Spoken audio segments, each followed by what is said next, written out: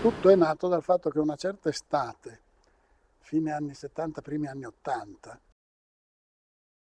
il padre di quegli incontri in realtà è Valerio Verra, che adesso non c'è più, che io eh, definivo uno storico pensante con questa espressione hegeliana. quegli anni si fece tesoro della lettura che Heidegger aveva fatto della fenomenologia e questo aveva portato ad una introduzione di Heidegger nell'ambito della cultura italiana.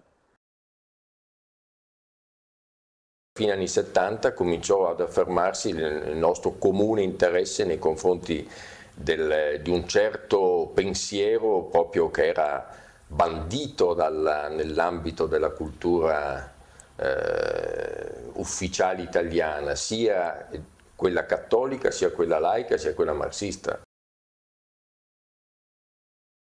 Quando sono cominciati gli incontri di Monteripido a noi era chiarissimo che la via gramsciana aveva dato quello che poteva dare e non si poteva più proseguire su quella strada, c'era già una forte comprensione diciamo, del, di quell'atmosfera che dieci anni dopo avrebbe potuto avrebbe portato alla rottura del muro, no? al crollo del muro di Berlino.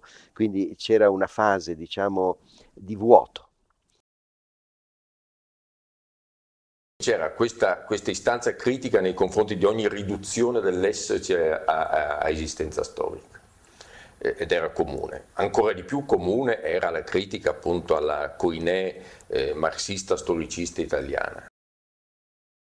No, ma era, era, un bel clima, era una, una, bella, una bella faccenda. Quando volete che cominciamo sul serio, ditemelo perché siamo già sul serio? Ah, maledetti. Vabbè, no dai.